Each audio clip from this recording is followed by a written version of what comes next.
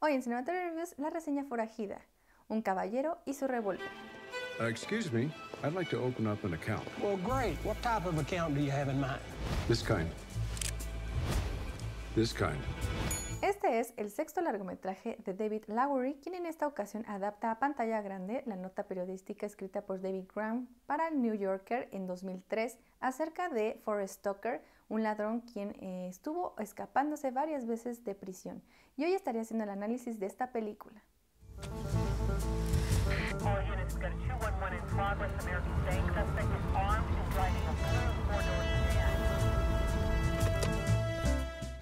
Historia está situada a finales de los años 70 y principios de los 80, enfocándose en la vejez de Forrest Tucker, quien continúa realizando asaltos a bancos junto con los cómplices de su último escape. Y es un policía, John Hunt, quien se ve involucrado en su búsqueda. It's big, real big. You think we can pull it off? Yeah, I think we could probably do it. So how did the same three guys get away with all that? Well, they haven't gotten away with it. They just haven't been caught yet. Step on it.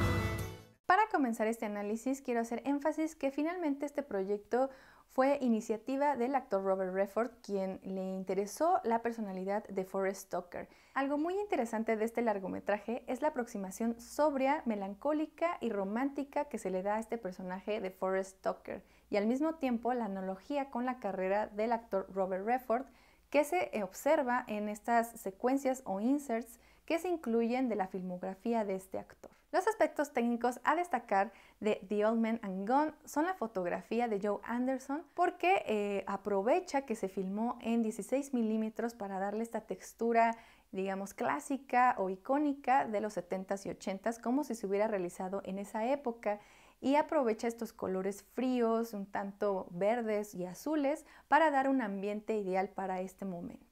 Finalmente, un elemento que le da bastante personalidad a esta historia es la banda sonora de Daniel Hart, quien con sonidos de jazz aporta un ambiente y una personalidad bastante singular, tanto divertida como sofisticada a lo que es un robo.